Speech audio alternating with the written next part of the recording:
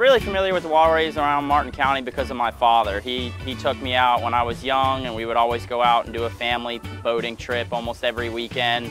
And uh, he got me really involved in the water as well as diving and fishing and everything like that. So uh, it's been a big passion of mine. Living in Martin County, I've experienced a lot of different species of fish just out in the water. I've become slightly addicted to spearfishing. I do it whenever I can. I go on vacations. Everywhere's really close to Stuart. You can catch anything from snook to marlins. So it's just a really good location.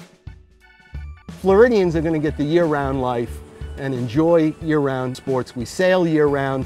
My, my friends and counterparts in the sailing world have about four months with which to sail. We sail year-round, catching the sun and enjoying the, the weather. And gosh, what, what better place to enjoy the weather is Martin County.